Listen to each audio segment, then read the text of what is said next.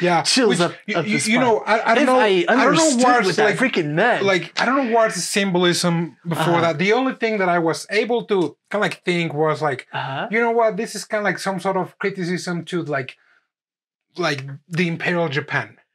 Imperial Japan was ruthless. was like Ah, okay. like they were oppressing their people like Uh-huh. with the disguise of like hey we're being really patriotic but they were Mm. really utilitarian in a way that you know back at the beginning of the meiji era it was Ah. just some of the higher ups that were uh trying so hard to be like the west that they ended up Ah, you, like you know tearing yeah apart tearing people. apart the country Mm. and, and and you know what came after the war mm, was Japan like slowly building up mm. uh, and and you know kind of like forgetting ah, that that That- part of the war. Because you know okay. Japan was never the same after the war. It, it was it is right right. It is not yeah not and and you know that that not quite that that's kind of like the only thing that that I could have think of it was like okay. you know what? That because because you have the the kingdom of the parakeets that it was ah, it seemed that it was trying to- flourishing. It, it seems that it was thriving yeah it was it was full of crap